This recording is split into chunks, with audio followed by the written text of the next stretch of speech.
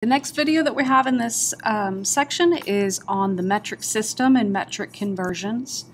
For your metric system and metric conversions, we're actually going to look at um, why we use the metric system, uh, why the English or the imperial system is not so good, and also how to convert between different metric units.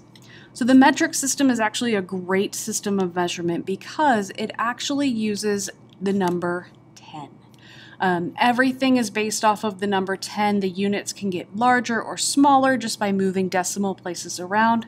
And you don't have to remember things like there are 12 inches in one foot or there's 5,280 feet in one mile. Um, things that are all frustrating for um, people that are converting between the imperial system. So just a little bit of background about the imperial system. I have this little thing here, and this is called a ruler.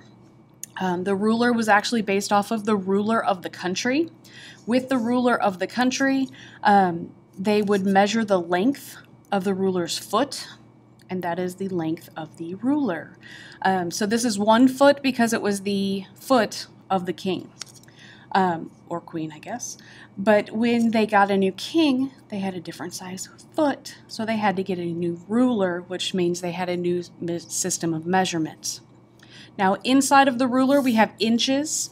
Inches was actually the width of the king's thumb. So we would take whatever width that was. It might have been bigger, it might have been smaller. So we didn't always have 12 inches in one foot, depending on the length of the foot and the width of the thumb. They also took the king to the yard, and when they took the king to the yard, they had him measure out one pace. Um, that was foot to foot and that it, the one yard um, foot to foot that is one pace of the king. So again it was different. Um, from there thousand paces that's equal to one mile. So that's where we get all these weird numbers. 12 inches in one foot 5280 feet in one mile three feet in one yard. They're all crazy crazy crazy numbers. Now with this metric system or what's called the International System of Measurements now. Um, it has a new name. The um, SI system or the metric system is based off of the magic number 10. With that magic number 10, that allows us to move around decimal places in order to go between grams and kilograms or centimeters and meters, um, millimeters to centimeters, things like that. So we do use the metric system in science classes um, because the rest of the world uses it. There were two countries left, um, other than the United States, that were using the imperial system with us. However, they've bailed. Um, they are currently moving over to the imperial system. From the imperial system, sorry, to the metric system. That leaves the United States as the only country that doesn't use the metric system. So I have a video clip embedded in here um, in your notes. It's on this slide right here. So when you go back through the notes or as you're going through the notes, watch this. Um, and it's just kind of why um, the United States isn't changing, but it basically boils down to, as a spoiler alert, we're stubborn. Um, with your metric units, I'm actually going to switch over to my document camera at this point. And as I switch over to my document camera, um, we're going to look at some of the metric units. And we're going to look at the base units first. For your base units, we have the meter, we have the liter, we have the gram, and we have the seconds.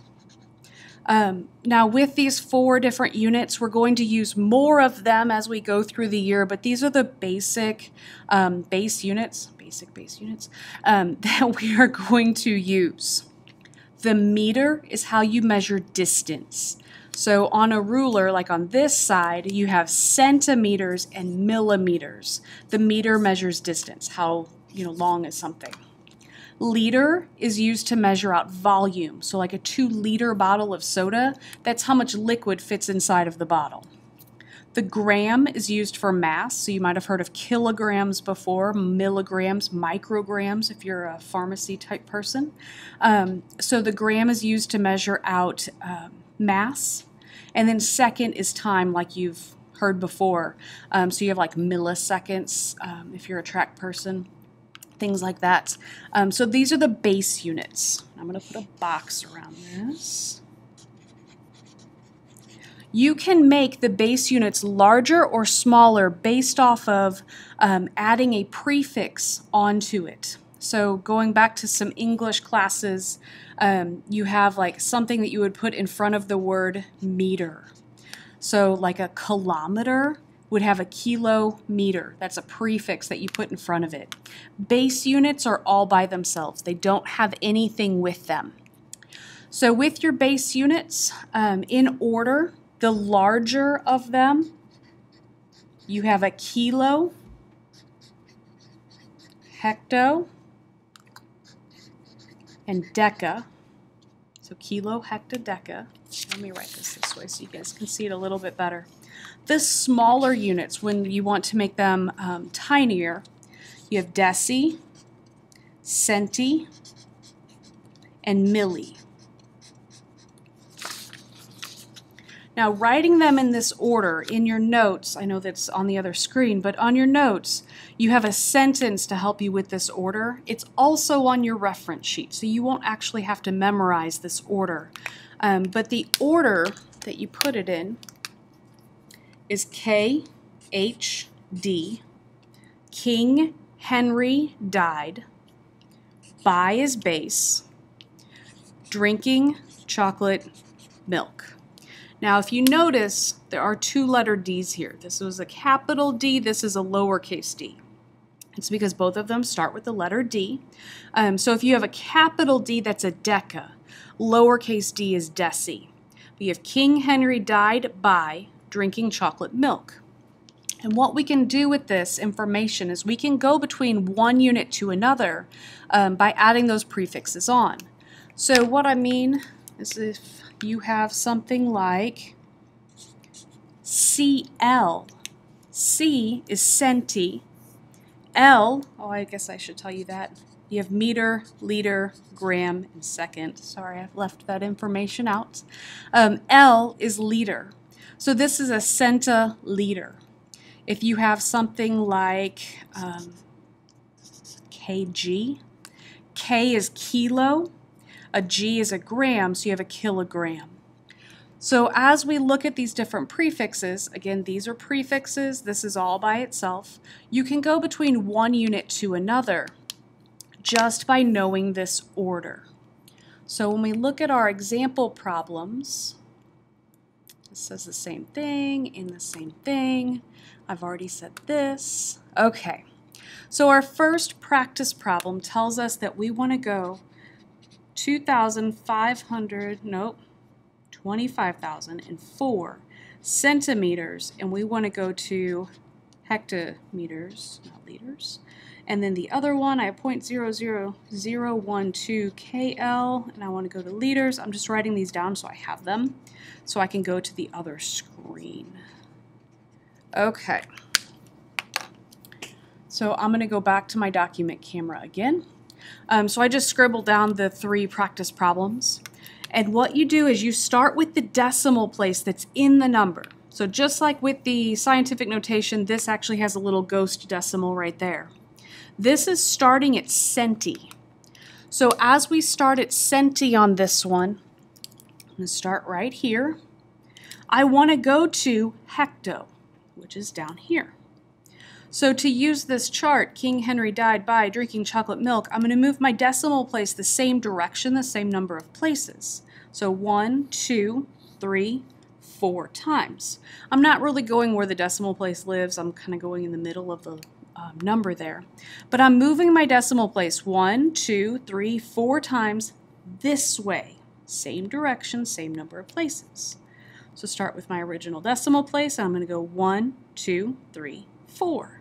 So my answer here is 2.5004 HM. So this, the centi, which is pretty small, is the same as 2.5004 HM hectometers, which is a very large unit. When we look at the next one here, I have 0.00012 kiloliters. So this one I'm going to start here and I'm going to end at liters, just it's all by itself. So that means that I'm going to end right here at base. So again, I'm going to move my decimal place one, two, three times. This time I'm going that way with my decimal. So I'm going to start with my original decimal place, and again I move one, two, three times. So my answer down here is 0.12 liters. Move your decimal place the same direction, the same number of places. Now this one I have three lowercase d. Lowercase d is deci, and I'm going to deca, which is capital D. So on this one, I'm going to start right here at deci. I want to end down here at deca. So I'm going to move my decimal place one, two times this way. One, two. So again, I'm going to start here with my decimal place. It's currently after the number three. I'm going to go one, two times. So your answer is 0.03 decameters. So whenever you're using this chart, you're going to move your decimal place the same direction, the same number of places. When you look at the chart, a kilometer is like a mile. It's really, really, really big. And it basically goes by tens. So if this is one, there's 10 decameters in one meter. If you move over again, hectometer, it would be a hundred. So there's a hundred hect, or, sorry, a hundred meters in one hectometer. For a kilometer, that would be a thousand. So there's a thousand meters in one kilometer. Going this way, if I use grams, um, there's for your gram, again, if this is one, you would divide that by 10, and there would be 10 grams in one, sorry, 10 decigrams in one gram. Um, if you have your centigram, you'd have 100, and a milli is a 1,000. So this way you're dividing by 10, this way you're multiplying by 10. So these are large, capital letters. These are smaller, they're lowercase letters.